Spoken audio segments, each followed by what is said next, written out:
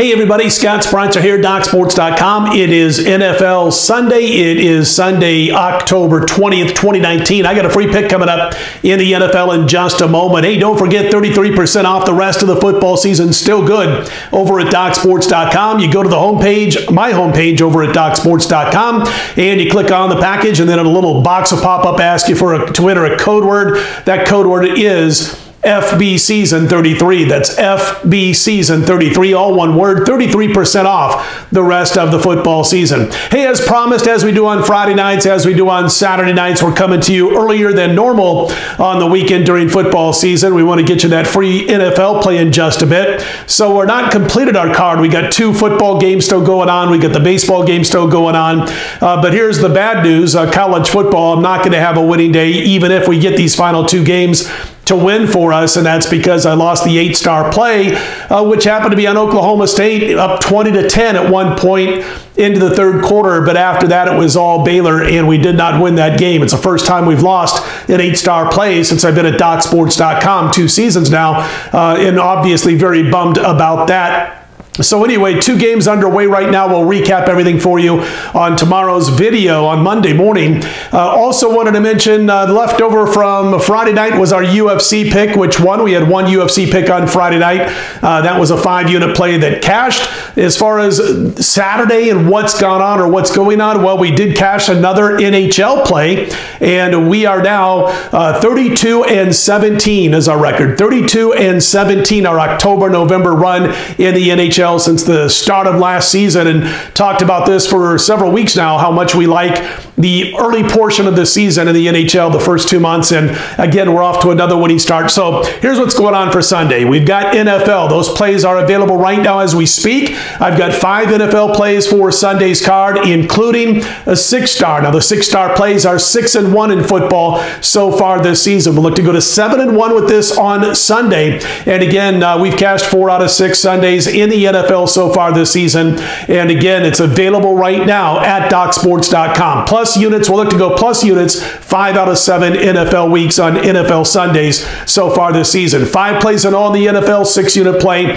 is the lead play on Sunday. Also over at DocSports.com on Sunday, we have NHL. And again, as I mentioned, we are on a red hot run in the National Hockey League since the start of last year. October, November runs have been tremendous, 32 and 17.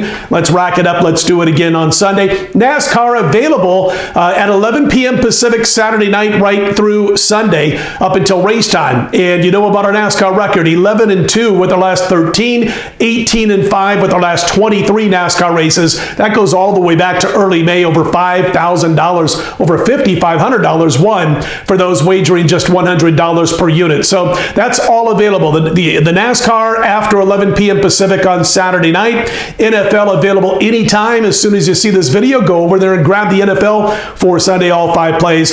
NHL will be posted on Sunday morning, normal time, over at DocSports.com. Let's rack it up. Let's have a great day on Sunday. Uh, we'll get to our free pick in just a moment. As always, what I'd like to do uh, on Sa uh, Sunday morning videos late Saturday night is tell you where the action is betting wise on uh, Saturday night going into Sunday.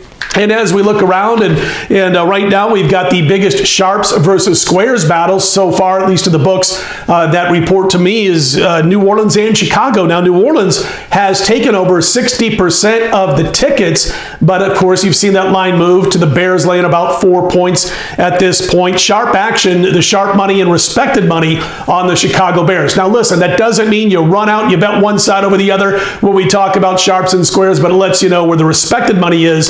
Uh, as opposed to the everyday money or so, or the general public money. And again, public's on New Orleans over 60%, but the money coming in, sharp money on the Chicago Bears. Uh, the biggest bet percentage wise, as far as money is concerned, is the New York Giants minus the field goal over Arizona. Uh, the book that I talked to reports about 85% of the money bet on this game is on the New York Giants minus the points. By the way, I wanted to mention who was number two in this one the Miami Dolphins plus the points. That's where they had taken, as far as a percentage was concerned, the second most money. Uh, as far as tickets were concerned, it's on the San Francisco 49ers. About 80% of the tickets have been written on the Niners in that game, laying a bunch of points on the road this week.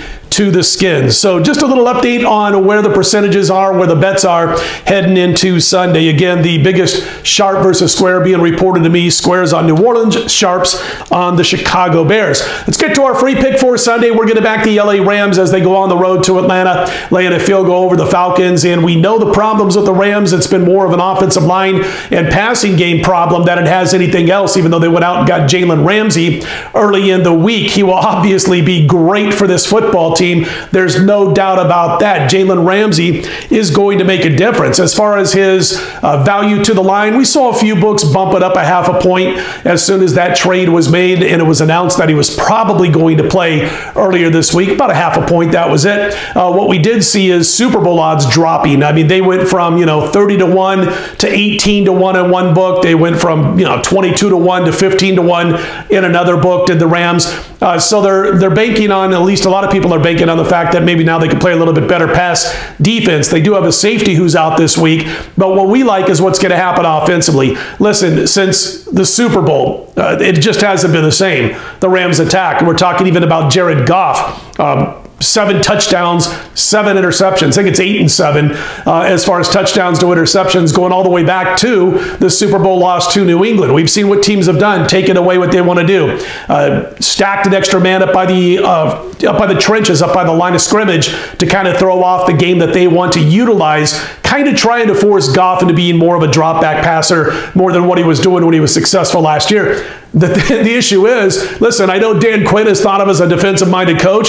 This Atlanta Falcons defense is pathetic, horrible, absolutely terrible, all of the above. And I think because of that, the Rams are going to be able to do what they want to do in this one establish a ground game, which means they can utilize their play action game, which is what they want to do. And because of the defense they're going up against, I think they'll have success. Matty Ryan has had a ton of success throwing the football this year. Check out his numbers last week, check out his numbers throughout the course of the season, but they're not winning football games. They play no defense. So I think the Rams are going to take advantage of that. I know a lot of people still believe in the myth that West Coast teams do poorly on the East Coast against the spread. Went back 39 years with another handicapping friend of mine, and we did the research. And believe it or not, the West Coast team has covered 53% of the time, going all the way back to 1980 through just a couple of weeks ago. Uh, there was one stretch in the early 2000s where West Coast teams struggled on the East Coast against the spread.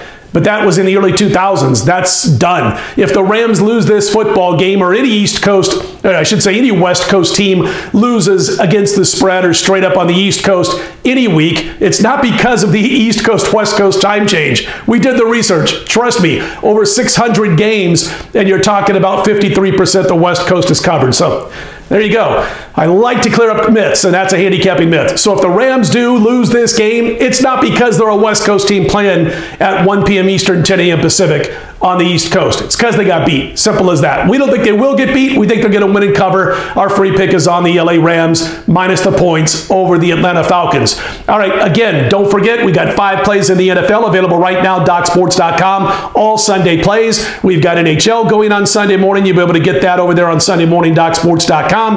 Uh, and of course, the NASCAR uh, picks will be available 11 p.m. Pacific time Saturday night, right up until race time on Sunday. Let's rack it up and let's Let's have a great day on Sunday. Not a good day in college football for me on Saturday. Let's have a big day in Sunday's NFL. And I'll be right back here Monday by 5 a.m. Eastern, 2 a.m. Pacific with our college football opening line report. I'm Scott Spreitzer, DocSports.com. Let's do it. Let's put Sunday in the win column right back here on Monday.